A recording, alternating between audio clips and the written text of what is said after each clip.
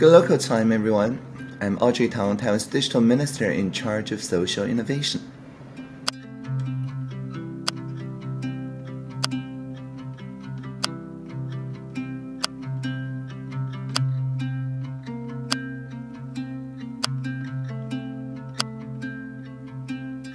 Democracy to me is also a technology, a social technology that gets better when more people improve it.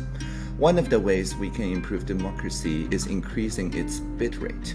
That is to say, instead of like voting every four years, every person, like three bits or something, uh, we can make democracy something that's day to day using digital means. That's why I'm optimistic because we've seen day to day democracy enhanced the resilience of the society and enable us to counter the pandemic with no lockdown and counter the infodemic with no takedown.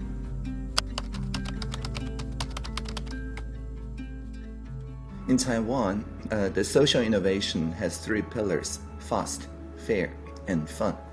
The fast part pertains the use of pro-social social media.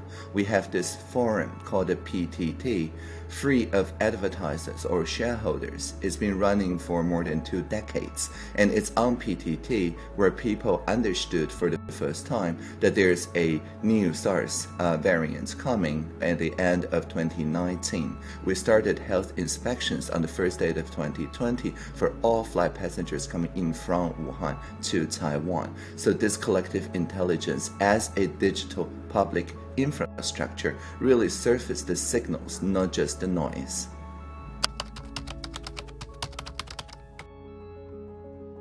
Well, we already have a pretty mainstream decentralization technology. It's called the internet.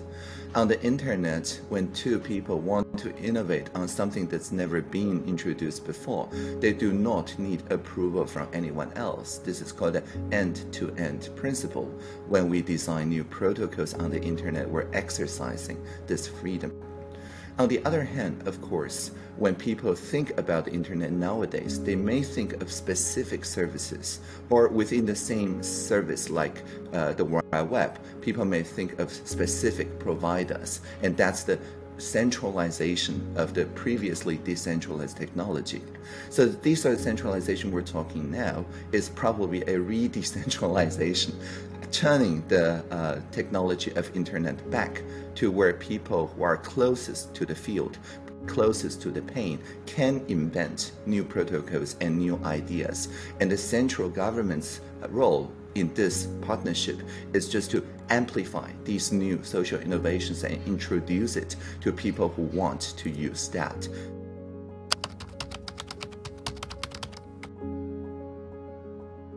To me, um, data is interpersonal. So it is my data, but when we're having this conversation, this recording is also your data.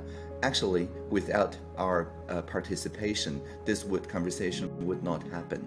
And so because of this, what will go to this recording, whether we release it into the Creative Commons, do we want to uh, add share alike or not share alike, and so on, um, become a common topic for us to have a discussion. So this is what people call collaborative governance.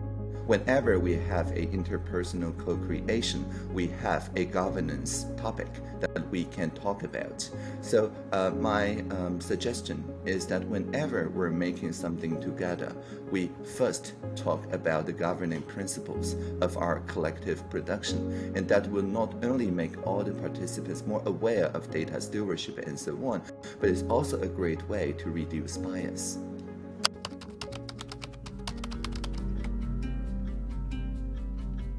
Uh, when I was 13, I had my first puberty. When I was 25, I had my second puberty. But I don't say I identify as this or I identify as that. And the reason why is that the mutual shared experiences brings us closer as a neighborhood, but identities sometimes exclude others who do not have the experience yet. So the idea of experiences over identities uh, is what I want to answer to kind of deconstruct uh, this question a little bit and uh, let's just remain unfinished uh, in our identities.